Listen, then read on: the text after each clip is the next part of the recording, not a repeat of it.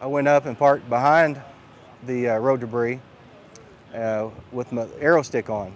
Even had the right arrow stick on, telling everybody to move over to the right because I was in the inside lane.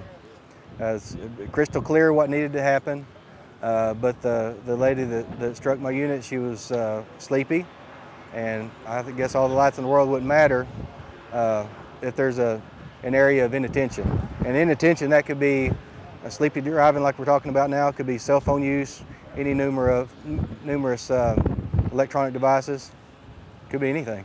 I really want the public to know when you see these highway patrol cars out on the side of the road or you see our partners with Department of Transportation, they're literally putting their life on the line uh, for us. And for the Highway Patrol, we have lost 35 uh, brave men in service to the state of Oklahoma.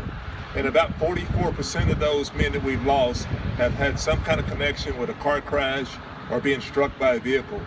We just need people to think about their driving. When you see a vehicle with the emergency lights on and you look at it still getting crashed, um, and then you look at these vehicles that are sitting there fully equipped with emergency equipment and still getting run into, I feel concerned about the, the general motoring, uh, motoring public. We need to educate the people, or the traveling public, and uh, it's an epidemic what we're doing on our cell phones. We need to watch out for our workers and the, and the Department of Transportation and OHP, anybody that's got lights and doing a job on the side of the road, we just need to respect their space and just move over.